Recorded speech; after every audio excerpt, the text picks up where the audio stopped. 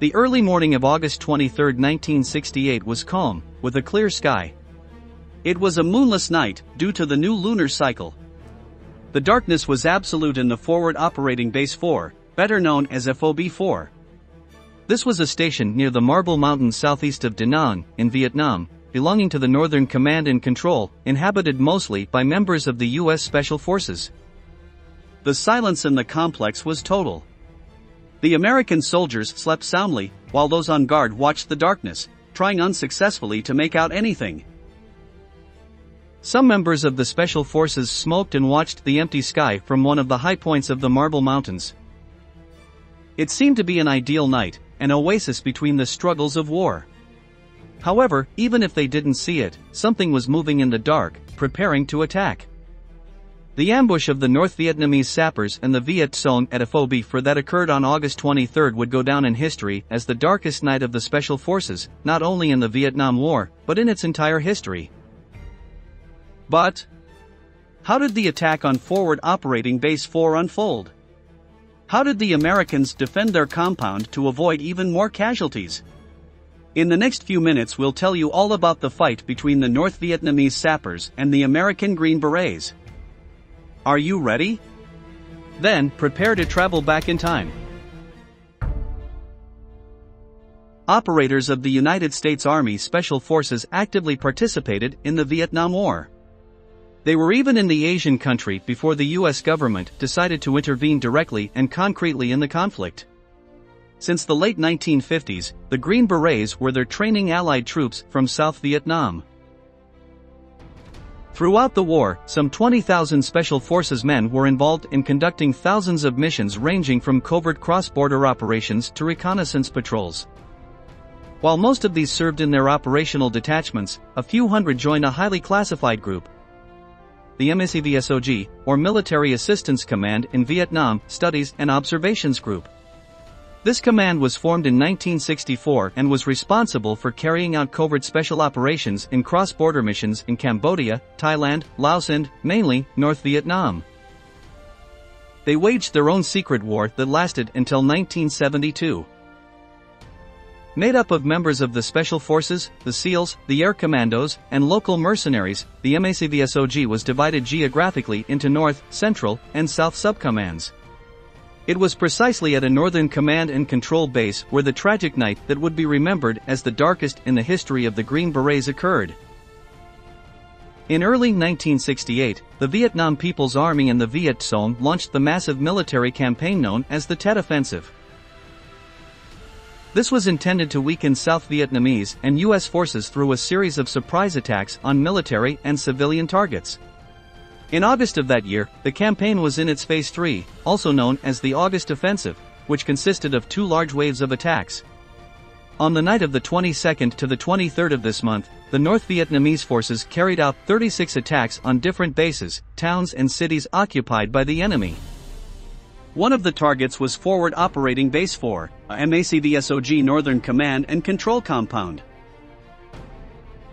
This was a top-secret special operations station, swarming with Green Berets, most of whom had moved there from Da Nang Air Base. The base was southeast of that same city, at the foot of the north face of the Marble Mountain, a natural accident with five peaks interspersed by flatland that functioned as a cover.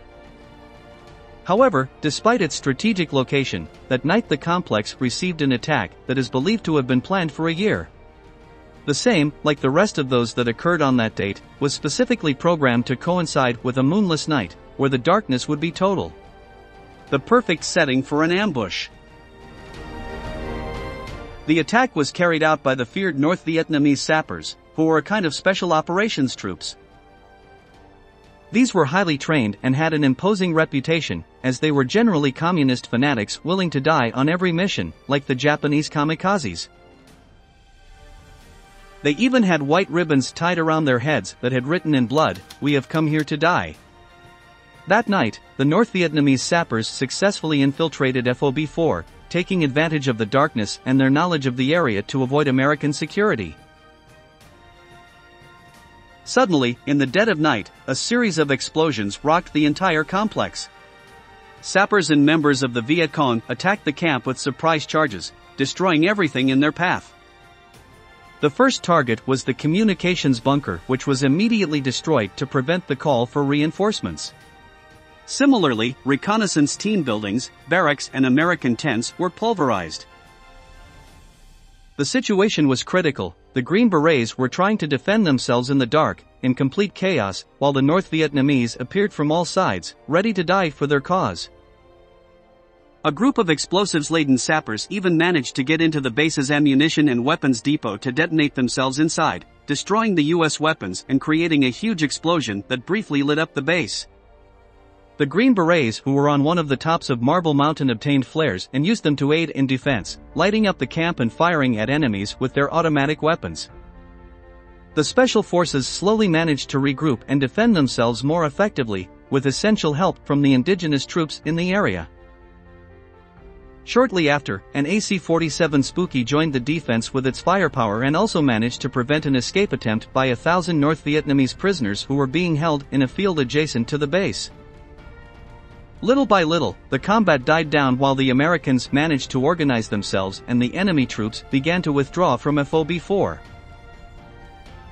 Many Special Forces operators left the battle and fled in trucks to take their comrades to nearby hospitals the ambush left many material losses. Additionally, 17 Green Berets were killed, the largest number of deaths in the same day in the history of the Special Forces. Another 125 were injured. There were more dozens of casualties, many of these from the native ally troops, although the specific number of deceased was never disclosed.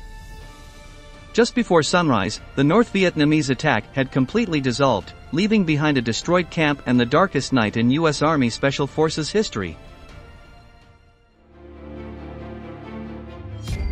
We have reached the end of the video and we want to know your opinion. Do you think that the quick reaction and defense of the Green Berets prevented more casualties?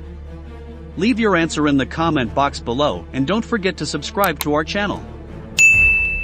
Also remember to watch other videos to learn about many more military events that left their mark on history. Thank you very much for joining us until the end. And stay tuned for our next video.